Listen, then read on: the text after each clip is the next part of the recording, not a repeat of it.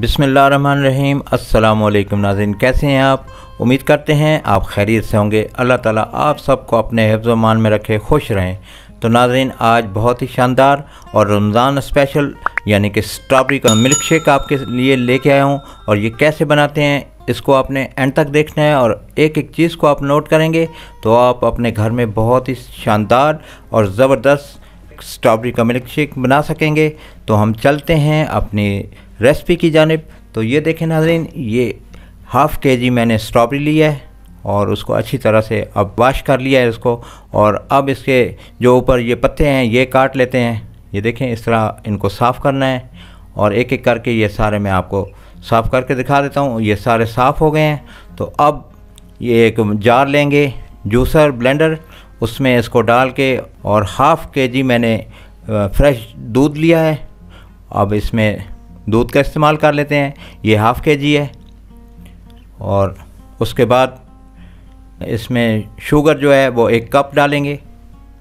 ये देखें, ये एक कप आपको जितना पसंद है, आप उतना इस्तेमाल कर सकते हैं, कोई मसला नहीं है।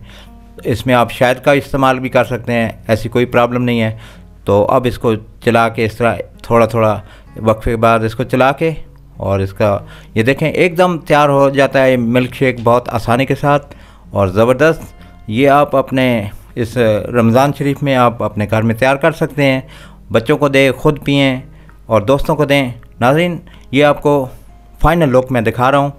ये देखें, इस तरह आपने ये तैयार करना है और फ्रेश जूस जो आप अपने घर में इस्तेमाल करेंगे और ये ज़बरदस्त जूस आपके सामने मिल्क शेक स्ट्रॉबेरी का मिल्क शेक आपके सामने तैयार हो गया है। अगर नाजिन आप हमारे चैनल पर नए हैं तो प्लीज़ चैनल को सब्सक्राइब कर लें, वीडियो को लाइक करें, दोस्तों के साथ शेयर करें और बेल आइकन को दबाना मत भूलिए। इससे आपको हर आने वाली वीडियोस का नोटिफिकेशन टाइम पे मिलता रहेगा। इसी तरह हम आपको नई सी नई वीडियो पेश करते रहेंगे। आप हमें देखते हैं, ये आपकी मोहब्बत। आप हमारी वीडियोस को पसंद करते हैं, अपने कमेंट से भी हमें आगाह किया करें। तो इसी के साथ ही कुल चाचा आपसे इजाज़त चाहता है। अल्लाह निगेबान